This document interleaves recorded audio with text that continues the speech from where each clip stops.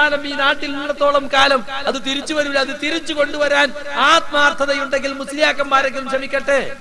മുസ്ലിയാക്കന്മാർക്ക് അതിന്റെ യഥാർത്ഥ ഫലം അറിയാലോ സുന്ദരമായ കാലം തിരിച്ചു കൊണ്ടുവരാൻ വേണ്ടി അവനവന്റെ ഭാര്യമാർക്ക് ഡേറ്റ് തെറ്റിയാലെങ്കിലും ഗൈനക്കോളജിസ്റ്റെ കാണിക്കാതിരിക്ക ആശുപത്രിയിൽ കൊണ്ടുപോകാതിരിക്ക മാല ചൊല്ലിയിട്ട് പെരുകയാണെങ്കിൽ പെറ്റോട്ടെന്റെ ഭാര്യ അല്ലെങ്കിൽ മരിച്ചോട്ടെ എന്നങ്ങ് വെക്കണം. സുന്നത്ത് ജമായത്തിന്റെ ഭടന്മാർ എസ് എസ് എഫുകാരും എസ് കെ എസ് എസ് എഫുകാരും ഈ സമസ്തയുടെ ആ യശസ് ഉയർത്തിപ്പിടിക്കുന്ന പുത്തൻ കൂറ്റുകാർ എന്ത് വേണം? ആ സുന്ദരമായ കാലം തിരിച്ചു കൊണ്ടുവരാൻ വേണ്ടി പരിശ്രമിക്കണം. അതല്ലേ ആത്മാർത്ഥത? ആശയത്തിൽ ആത്മാർത്ഥതയുണ്ടെങ്കിൽ അതല്ലേ കാണിക്കേണ്ടത്? ആശുപത്രിക്ക് പോകാതെ പ്രസവിക്കാം അല്ലേ? ഇവിടെ മുജാഹിദ് പ്രസ്ഥാനത്തെ കുറിച്ച് പറയാറുണ്ട്. അവർക്ക് മുജാഹിദ് മതത്തിൽ ചേരണമെങ്കിൽ അല്ലെങ്കിൽ ജമാഅത്തെ ഇസ്ലാമി മതം സ്വീകരിക്കണമെങ്കിൽ ഒരുപാട് തലമുറകളെ തള്ളിപ്പറയേണ്ടതുണ്ട്. ഒത്തിരി തലമുറകളെ തള്ളിപ്പറഞ്ഞതിന് ശേഷമേ ഒരു വ്യക്തിക്ക് മുജാഹിദോ ജമാഅത്തോ ആകാൻ സാധിക്കുകയുള്ളൂ. എനിക്ക് മുജാഹിദ് മതത്തിൽ ചേരണമെങ്കിൽ തീർച്ചയായും ഞാൻ എന്റെ ഉമ്മയെ തള്ളി പറയണം എന്റെ ഉപ്പയെ തള്ളി പറയണം എന്റെ ഉപ്പയുടെ ഉപ്പയെ തള്ളി പറയണം ഉമ്മയുടെ ഉമ്മയെ തള്ളി പറയണം കാരണം അവരാരും മമ്പങ്ങളെ വിളിക്കുന്നത് ഷിർക്കാണ് എന്ന് പറഞ്ഞിട്ടില്ല. അവരാരും മരണപ്പെട്ടു പോയ നബിസ്വല്ലാഹു അലഹി വസല്ലമയെ വിളിച്ചാൽ മുഷിരിക്കാകുമെന്ന് പറഞ്ഞിട്ടില്ല. അങ്ങനെ വിളിക്കുകയും സഹായം ചോദിക്കുകയും ചെയ്ത് ജീവിച്ചു കൊണ്ടിരിക്കുന്ന അല്ലെങ്കിൽ മരണപ്പെട്ടു പോയ എന്റെ ഉമ്മയും ഉപ്പയും അവരുടെ ഉമ്മയും ഉപ്പയും ഉൾപ്പെടെ ഒത്തിരി തലമുറകളെ തള്ളിപ്പറഞ്ഞെങ്കിൽ മാത്രമേ എനിക്ക് മുജാഹിദാകാൻ സാധിക്കുകയുള്ളൂ. മുജാഹിദ് പ്രസ്ഥാനം ഉപ്പയെ തള്ളിപ്പറഞ്ഞു ഉമ്മയെ തള്ളിപ്പറഞ്ഞു ഉപ്പയുടെ ഉപ്പയെ തള്ളിപ്പറഞ്ഞു ഉമ്മയുടെ ഉമ്മയെ തള്ളിപ്പറഞ്ഞു. ആരാ തള്ളിപ്പറഞ്ഞത്? നിങ്ങളെ ഉമ്മമാർ ആരെങ്കിലും ഇങ്ങനെ ആശുപത്രിയിൽ പോയി പ്രസവിച്ചിട്ടുണ്ടോ? ആർക്കെങ്കിലും പ്രസവ വേദന വന്നിട്ട് അവസാനം കത്തിരി വെച്ചിട്ട് ഓപ്പറേഷൻ നടത്തിയിട്ടുണ്ടോ? ഇല്ലല്ലോ. അപ്പൊ അവൻ ആ ഉമ്മമാരെ തള്ളി പറഞ്ഞുകൊണ്ടല്ലാതെ നിങ്ങൾക്ക് ആശുപത്രി പോകാൻ പറ്റുമോ? പറ്റുകയില്ല എന്നതാണ് വാസ്തവം. അപ്പൊ സുഹൃത്തുക്കൾ മാലയും മൗലീദും ഒക്കെ മുസ്ലിം സമുദായത്തിൽ നിന്ന് ഒരർത്ഥത്തിൽ നീങ്ങിക്കൊണ്ടിരിക്കുന്നു എന്ന ശുഭസൂചനയാണ് ഈ രണ്ട് ക്ലിപ്പുകളിലൂടെയും ഞാൻ നിങ്ങളെ കാണിച്ചത്. അത് മുജാഹിദ് പ്രസ്ഥാനം ഇവിടെ പോരാടി നേടിയതാണ്. വെറുതെ ഒരു സുപ്രഭാതത്തിൽ അങ്ങനെ വെളിച്ചം വന്നപ്പോൾ ഉണ്ടായതല്ല ഈ പ്രസ്ഥാനത്തിന്റെ ഉമറാക്കളും മുലമാക്കളും കഷ്ടപ്പെട്ട് ഈ ആദർശം പ്രചരിപ്പിക്കുവാൻ വേണ്ടി ആട്ടും തുപ്പും ബഹിഷ്കരണങ്ങളും സഹിച്ച് നാടായ നാടിൽ മുഴുവൻ ഇറങ്ങിച്ചെന്ന് ഒരുപാട് ത്യാഗങ്ങൾ സഹിച്ച് ആശയം പ്രചരിപ്പിച്ചതുകൊണ്ട് ഉണ്ടായിട്ടുള്ള മാറ്റമാണത്. അല്ലാതെ വെറുതെ ഉണ്ടായിട്ടുള്ളതല്ല. ആ മാറ്റം ഇസ്ലാഹി പ്രസ്ഥാനത്തിന്റെ പുതിയ തലമുറയ്ക്ക് മനസ്സിലാക്കാൻ കൂടിയാണ് ഈ സംഗതി ഇവിടെ ഞാൻ ഓർമ്മപ്പെടുത്തിയത്. അതുകൊണ്ട് സുഹൃത്തുക്കളെ മാലയും മൗലീദിനുമൊക്കെ ഇന്ന് മുസ്ലിം സമുദായം എന്ത് വില കൽപ്പിക്കുന്നുവെന്നും പണ്ട് എന്തായിരുന്നു അവരോടുള്ള സമീപനമെന്നും ഈ രണ്ട് ക്ലിപ്പുകളിലൂടെ നിങ്ങൾ മനസ്സിലാക്കി ഇൻഷാ അല്ലാ ഇഷാ നമസ്കാരത്തിന് ശേഷം നമുക്ക് ബാക്കി തുടരാം അള്ളാഹു അനുഗ്രഹിക്കുമാറാകട്ടെ السلام عليكم ورحمة الله وبركاته الحمد لله الواحد القهار والصلاة والسلام على نبينا محمد وعلى آله وصحابته أجمعين أما بعد പ്രിയപ്പെട്ട സഹോദരി സഹോദരന്മാരെ മാലമൗലീദുകളിൽ മധുണ്ടോ ശുർക്കുണ്ടോ എന്ന വിഷയത്തിന്റെ ഒരു മുഖവര മാത്രമാണ് ഞാൻ ഇഷാ നമസ്കാരത്തിന് മുമ്പ് നിങ്ങളെ കേൾപ്പിച്ചത്. വാസ്തവത്തിൽ മൗലിദുകൾ രചിക്കപ്പെട്ടത് തന്നെ ഞാൻ നേരത്തെ പറഞ്ഞതുപോലെ പ്രവാചകൻ സല്ലല്ലാഹു അലൈഹി വസല്ലമയെ പ്രശംസിക്കുവാൻ വേണ്ടിയാണ് അല്ലെങ്കിൽ മധു പറയാൻ വേണ്ടിയാണ് എന്നാണ് സാധാരണ മൗലിദ് പ്രേമികൾ തന്നെ പറഞ്ഞു പ്രചരിപ്പിക്കാറുള്ളത്. എന്നാൽ മുജാഹിദികളെ സംബന്ധിച്ചിടത്തോളം റബിയുൽ അവൽ മാസത്തിൽ അല്ല സഫർ മുപ്പതഞ്ച് കഴിഞ്ഞ് റബിയുൽ അവലും കഴിഞ്ഞ് റബിയുൽ ആഹർ വരെ നീണ്ടു നിൽക്കുന്ന നാൽപ്പത് ദിവസത്തിൽ മാത്രം ഒതുങ്ങി നിൽക്കേണ്ടതല്ല പ്രവാചകനെ കുറിച്ചുള്ള മധുഹവും പ്രവാചകനെ കുറിച്ചുള്ള അനുസ്മരണവും. ഒരു മുസ്ലിം അവന്റെ നിത്യജീവിതത്തിൽ ഒരുപാട് തവണ പ്രവാചകൻ സല്ലാസ്ലമയെ ഓർക്കുകയും അവിടുത്തെ ജീവിതചര്യകളെ ജീവിതത്തിലുടനീളം നിലനിർത്തി കൊണ്ടുപോവുകയും ചെയ്യുക എന്നത് ഒരു മുസൽമാന്റെ ബാധ്യതയാണ്. അതേ സമയത്ത് റബിയുൽ അവലിനോടനുബന്ധിച്ച് മാത്രമായി ഒരു മധു സംഘടിപ്പിക്കുക ഗദ്യമായോ പദ്യമായോ ഗദ്യപദ്യ സമ്മിശ്രമായോ മധുകൾ പാടുകയും പറയുകയും ചെയ്യുക എന്നത് തനിച്ച വിദഗ്ധാണ് പുത്തനാചാരമാണ്. ഇസ്ലാമിക സമുദായത്തിൽ അതിന്റെ ഉത്തമ തലമുറകൾക്ക് ശേഷം കടന്നുകൂടിയതാണ് എന്ന് ഞാൻ ഇവിടെ സമർത്ഥിക്കുകയുണ്ടായി.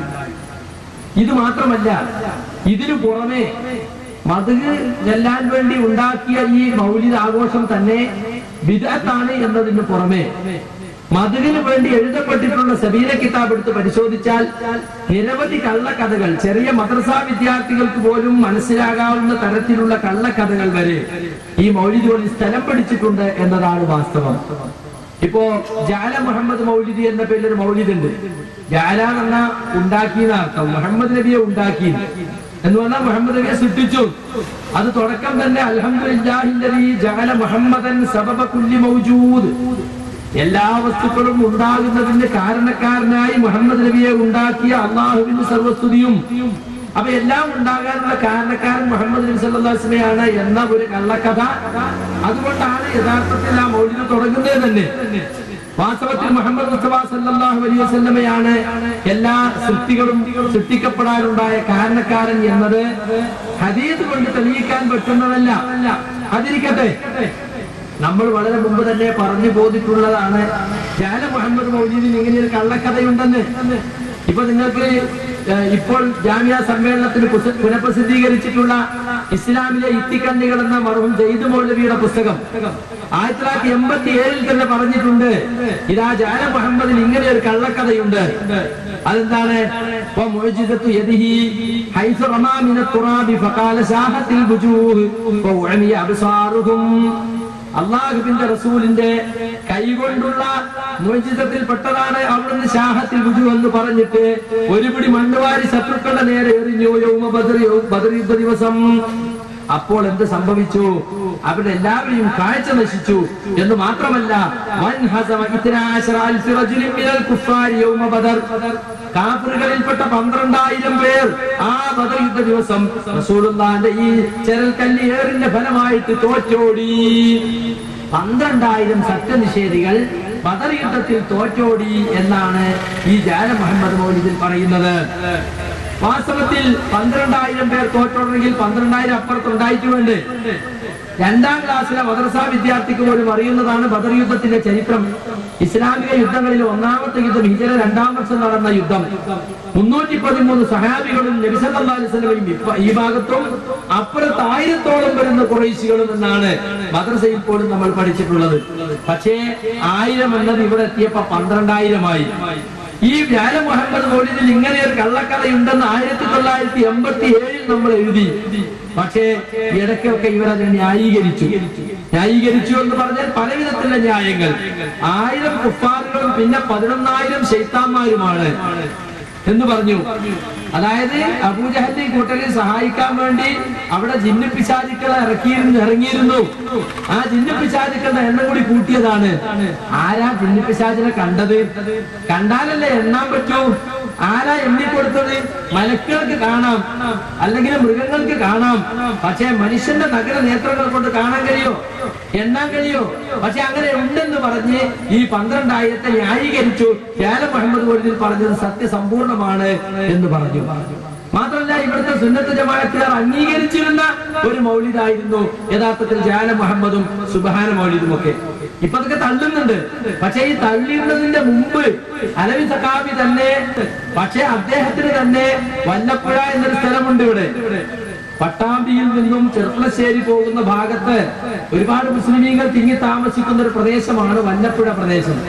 ആ വല്ലപ്പുഴ പ്രദേശത്ത് ഈ അടുത്ത കാലത്ത് ഒരു വാദപ്രതിവാദത്തിന് വ്യവസ്ഥ എഴുതേണ്ട ഒരു സാഹചര്യം ഉണ്ടായി അതിന്റെ ഒരു ചുരുങ്ങിയ ആ സംഭവം ഞാനൊന്ന് വിവരിക്കുകയാണെങ്കിൽ ഉണ്ടായത് എന്താണെന്ന് ചോദിച്ചാൽ അവിടെ ഞാൻ പോയി പ്രസംഗിച്ചു. ഇതുപോലെ തന്നെ ഇതേ വിഷയം വെച്ച് മാല മാലമൊഴീതുകളിൽ മധുകൊണ്ടോ ചുരുക്കുന്ന ക്ലിപ്പൊന്നുമില്ലാതെ ഒരു രണ്ടര മൂന്ന് മണിക്കൂർ നേരം നീണ്ടു നിൽക്കുന്ന ഒരു പരിപാടി. അതിൽ ഞാൻ ഇവിടെ സംസാരിച്ചതുപോലെ മാലകളും മൗലീദുകളിലും ഉള്ളത് യഥാർത്ഥത്തിൽ മതഹല്ല മറിച്ച് കള്ളക്കഥകളാണ്. അതിന് പുറമെ അള്ളാഹു വല്ലാത്തവരെ വിളിച്ചു പ്രാർത്ഥിക്കുന്ന ശിർക്കും അതിലുണ്ട് എന്ന് ഞാൻ അന്ന് ഓർമ്മപ്പെടുത്തിയിട്ടുണ്ടായിരുന്നു. പക്ഷേ ഓർമ്മപ്പെടുത്തിയ അത് കഴിഞ്ഞ് ഒരുപാട് ആളുകൾ ആ നാട്ടിലെ സാധാരണ അങ്ങാടിയിൽ ഉണ്ടാകുന്ന കുറെ ടീം അത് കേട്ടു. ഓട്ടോറിക്ഷക്കാര് യൂണിയൻകാര് എന്നൊക്കെ പറഞ്ഞ് സാധാരണ അങ്ങാടിയിൽ ഉണ്ടാകുന്ന ആളുകളുണ്ടല്ലോ അവരതൊക്കെ കേട്ടു. അവർക്കൊക്കെ ബോധ്യമായി ഞങ്ങൾ ഈ ചൊല്ലിക്കൊണ്ടിരിക്കുന്ന സാധനം വളരെ അപകടമാണെന്നും അത് തനിച്ച വിദഗ്ധാണെന്നും കള്ളക്കഥകൾ നിറഞ്ഞതാണെന്നും. സ്വാഭാവികമായും അവിടെ അതിനൊരു മറുപടിയുമായി സക്കാഫി രംഗത്ത് വന്നു അലവി സക്കാഫി അയാൾ മൂന്ന് നാല് മണിക്കൂർ നാലര മണിക്കൂറോളം പ്രസംഗിച്ചു. കുറെ അറബി ഇമാരത്തുകളൊക്കെ അവിടുന്ന് ഇവിടുന്നൊക്കെ വായിച്ച് ഈ മാലകളെയൊക്കെ സത്യസമ്പൂർണമാക്കാനും മിനിക്കാനും ശ്രമിച്ചു. പക്ഷെ മിനിക്കാൻ ശ്രമിച്ചത് വെളുക്കാൻ തേച്ചത് പാണ്ടായി എന്ന് പറഞ്ഞതുപോലെ കൂടുതൽ വഷളാവുക ചെയ്തത്. കാരണം ഞാൻ പച്ച മലയാളത്തിൽ സംസാരിച്ചു സാധാരണക്കാർക്കൊക്കെ മനസ്സിലായി. ഇയാൾ കുറെ എന്തൊക്കെയോ വായിച്ചു അത് മനസ്സിലായതില്ല അങ്ങനെ വീണ്ടും അവർക്കിടയിൽ പ്രശ്നമുണ്ടായി. ജാല മുഹമ്മദ് മൗലിദും അതുപോലുള്ള മൗലിദുകളും ഒക്കെ സത്യസമ്പൂർണമാണെന്ന് വരുത്താൻ വേണ്ടി ഇവർ മറുപടി പറഞ്ഞപ്പോ വീണ്ടും നമ്മൾ ഫൈസൽ മുസ്ലിയാരും മുനീർ മദനിയും പോയിട്ട് അവിടെ സംസാരിച്ചു. അപ്പൊ വീണ്ടും ഈ വിഷയം ഒന്നുകൂടി ചർച്ചക്ക് വന്നു. ഈ മൗലിക ചെല്ലുന്നവര് മാല ചെല്ലുന്നവര് തൗബ ചെയ്ത് മടങ്ങണം അത്രയും വലിയ കുറ്റമാണെന്ന് മുനീർ മദനി അവിടെ സമർത്ഥിച്ചു. അപ്പോൾ അവിടെ ഈ യൂണിയൻകാരും അവിടുത്തെ ഓട്ടോറിക്ഷക്കാരും നാട്ട് അങ്ങാടിയിൽ എപ്പോഴും ഉണ്ടാകുന്ന കുറെ ചെറുപ്പക്കാരെ ടീം കൂടിയിട്ട് മുസ്ലിം ഐക്യവേദി എന്ന് പറഞ്ഞൊരു സംഘടന ഉണ്ടാക്കിയിട്ട് രണ്ടു കൂട്ടർക്കും കത്ത് വന്നു ഒരു കൂട്ടരെ പറയുന്നു മൗലി തോന്നുന്നത് പുണ്യമാണ്. മാല ചെല്ലുന്നത് കൂലി കിട്ടുന്നതാണ് മറ്റൊരു കൂട്ടർ പറയുന്ന തനിച്ച വിദാത്താണ് ഞങ്ങൾ ആകെ അങ്കലാപ്പിലാണ്. അതുകൊണ്ട് ഞങ്ങൾക്ക് ഇതൊന്ന് തിരിയണം എന്ന് പറഞ്ഞിട്ടാണ് അവരെന്ത് ചെയ്തത്? ഈ വാദപ്രയോഗത്തിന് കത്ത് തന്നത്. അപ്പൊ എ പി ഗ്രൂപ്പ് പല നിലക്കും ഒഴിഞ്ഞു മാറാൻ നോക്കി. മുജാഹിദ് ബാലിശ്ശേരി ഞങ്ങൾ അങ്ങനെ പറഞ്ഞത് മറ്റേ മോഴി ഇങ്ങനെ പറഞ്ഞത് അതൊക്കെ ചർച്ച ചെയ്യണം. അപ്പൊ ഐക്യവേദിക്കാർ പറഞ്ഞു ഞങ്ങൾക്ക് അതൊന്നും അറിയില്ല. ഞങ്ങൾക്കിപ്പോ വല്ലപ്പുഴയിലുള്ള ചർച്ചാ വിഷയം മാലി മൗലവിയാണ് അതുകൊണ്ട് അതാണ് ഞങ്ങളെ വിഷയം എന്ന് പറഞ്ഞ് നിർബന്ധിച്ച് രണ്ടു കൂട്ടരെ കൊണ്ടും ആ രണ്ട് ഭാഗത്തും പ്രതിനിധികളെ വിളിച്ച് അത് വാദപ്രതിവാദത്തിന് വിഷയമാക്കി. അങ്ങനെ വാദപ്രതിവാദത്തിന് വ്യവസ്ഥ ഉണ്ടാക്കാൻ വേണ്ടി വല്ലപ്പുഴയിൽ കൂടി വാദപ്രതിവാദം നടന്നില്ല. എന്ന് മാത്രമല്ല ഈ വാദപ്രതിവാദ വ്യവസ്ഥ തന്നെ ഒരു ചെറിയ വാദപ്രതിവാദമായി മാറി. പക്ഷേ മുജാഹിദ് മൗലിമാരും അതുപോലെ സക്കാഫികളും തമ്മിലുള്ള വാദപ്രതിവാദത്തിന് പകരം അവസാനം ഐക്യവേദിക്കാരും മുസ്ലിയാക്കന്മാരും തമ്മിലുള്ള ഒരു ചർച്ചയായിട്ടാണ് അത് കലാശിച്ചത്. എല്ലാ മൗലീദുകളെയും ഒന്നിച്ച് തള്ളിക്കളയുന്ന അവസ്ഥ വരെ അവിടെ ഉണ്ടായി. മാത്രമല്ല ഇവിടുത്തെ സുന്നത്ത് ജമാഅത്തുകാർ അംഗീകരിച്ചിരുന്ന ഒരു മൗലിദായിരുന്നു യഥാർത്ഥത്തിൽ ജാന മുഹമ്മദും സുബഹാന മൗലിദും ഒക്കെ. ഇപ്പൊ അതൊക്കെ തള്ളുന്നുണ്ട്. പക്ഷെ ഈ തള്ളിയുന്നതിന്റെ മുമ്പ് അലവി സഖാബി തന്നെ ജാന മുഹമ്മദിനെയും സുബഹാന മൗലിദും ഒക്കെ പണ്ട് കാലം മുതൽക്കേ സുന്നികൾ അംഗീകരിച്ചു വരുന്നതാണ് എന്ന് പറയുന്ന ഭാഗമാണ് ഇനി നിങ്ങൾ കേൾക്കാൻ പോകുന്നത് അലവി തന്നെ പറയുന്നത് കേട്ടോളൂ. പൂർവികരായി നമുക്ക് അറിയാം നമ്മുടെ ഒക്കെ പഴയ കാലത്ത് മുതൽ തന്നെ നിലവിലുള്ളതും പൂർവകാല മുസ്ലിമീങ്ങൾ പാരായണം ചെയ്തുകൊണ്ടിരിക്കുന്നതുമായ മൗലിദുകൾ നമുക്കറിയാം മങ്കൂസ് മൗലിദ് ഷറഫല്ലന മൗലിദ് ജാല മുഹമ്മദ് മൗലിദ് ഷറഫല്ലന മൗലിദ് ജാല മുഹമ്മദ് മൗലിദ് ഷറഫല്ലന മൗലിദ് ജാല മുഹമ്മദ് മൗലിദ് ഷറഫല്ലന മൗലിദ് ജാല മുഹമ്മദ് മൗലിദ് ഷറഫല്ലന മൗലിദ് ജാല മുഹമ്മദ് മൗലിദ് സുബഹാന മൗലിദ് ബദർ മൗലിദ് മൊഹിയദ്ദീൻ മൗലിദ് റിഫായി മൗലിദ് നഫീസത്ത് ബീവി മൗലിദ് ഇങ്ങനെയൊക്കെയുള്ള കുറെ മൗലിദുകൾ. പൂർവീകർ അനുവർത്തിച്ചു വരുന്ന ആചരിച്ചു വരുന്ന മൗലിദുകളുണ്ട്. അതുപോലെ തന്നെ മുഹയ്യദ്ദീൻ മാല റിഫായി മാല ബദർ മാല നഫീസത്ത് മാല ഇത്തരം മാലകൾ ഇതൊക്കെ സുന്നികൾ പാരായണം ചെയ്യുന്നതും അപ്പൊ ഈ പറഞ്ഞ പോലെ ജാല മുഹമ്മദും സുബാ ഷറഫല്ലാമും കുറച്ച് ആവർത്തിച്ചിട്ട് എന്താന്ന് വിചാരിച്ചാൽ ജാല മുഹമ്മദിന് ഇയാൾക്ക് തള്ളി പറയുന്നുണ്ട് ജാല മുഹമ്മദിന് മുജാഹിദികൾ പറഞ്ഞ് കൂട്ടിക്കലർത്തി എന്ന് പറയുന്നുണ്ട്. അതുകൊണ്ടാണ് ജാല മുഹമ്മദിന് ഇയാൾ അംഗീകരിച്ചത് ഒന്നുകൂടി നിങ്ങളെ കേൾപ്പിച്ചത്. ഈ അടുത്ത കാലത്ത് ഇയാൾ പ്രസംഗിച്ചതാണ്. അപ്പൊ അന്ന് വല്ലപ്പോഴും എങ്ങനെ ചർച്ച വരുന്നോ മുജാഹിദുകളുടെ മുമ്പിൽ വെച്ച് ജാല മുഹമ്മദ് തള്ളി പറയേണ്ടി വരുമെന്നോ മുസ്ലിയാർക്ക് അറിഞ്ഞൂടല്ലോ. കാരണം ലൈബ്രറിയുടെ കുറെ ആളാണ് ഉണ്ട് പറയല്ലാതെ വാസ്തവത്തിൽ അറിയേണ്ട കാര്യം അറിയാൻ കഴിയില്ലല്ലോ. അതുകൊണ്ട് സംഭവിച്ചതാണ് നേരത്തെ മൂപ്പര് പറഞ്ഞത്. മറന്നുപോയി. ജാല മുഹമ്മദിനെ തള്ളേണ്ടി വന്നു. ജാല മുഹമ്മദും ഷറഫൽ അനാവും സുബാന ഒക്കെ ഞങ്ങൾ സുന്നികൾ പണ്ടുകാലം മുതൽക്കേ ചെല്ലി വരുന്നതാണ് അംഗീകരിച്ചതാണ് എന്നാണ് അലവി സഖാബി പറയുന്നത്. പക്ഷേ വല്ലപ്പുഴയിലെത്തിയപ്പോൾ അതാ വല്ലപ്പുഴയിൽ വ്യവസ്ഥ ചെയ്താൻ വേണ്ടി മുനീർ മദലിയും അബ്ദുള്ള സുല്ലമിയും മായൻകുട്ടി സുല്ലമിയും ഷാഫി സലായും ഒരു ഭാഗത്തും അപ്പുറത്ത് അലൈ സഖാഫിയും ഇരുന്ന് ഈ മുസ്ലിം ഐക്യ വേദിയുടെ മധ്യസ്ഥതയിൽ നടക്കുന്ന ആ സംവാദ വ്യവസ്ഥയുള്ള ചർച്ച ആ ചർച്ചക്കിടയതാ വല്ലപ്പുഴയിൽ വെച്ച് അലവി സഖാഫി ജാല മുഹമ്മദ് മൗലിദിനെ തള്ളിപ്പറയുന്നതാണ് ഇനി നിങ്ങൾ കേൾക്കാൻ പോകുന്നത്. കേട്ടോളൂ. അതിനുള്ള ഒരു മൗലിദാണ് ജാല മുഹമ്മദ് മൗലിദ്. ആ മൗലിദിൽ ഇവർ തന്നെ കടത്തിക്കൂട്ടിയിട്ടുണ്ട്. ബദർ ദിവസം പന്ത്രണ്ടായിരം ആളുകൾ തോറ്റോടി. അത് നുണയാണ് ശരിയല്ല. അത് ഞങ്ങൾക്കറിയാം. അതുകൊണ്ടാണ് ഞാൻ പറയുന്നത്. അതിൽ നുണകൾ പലതും പലതും കടത്തിക്കൂട്ടിയിട്ടുണ്ട്.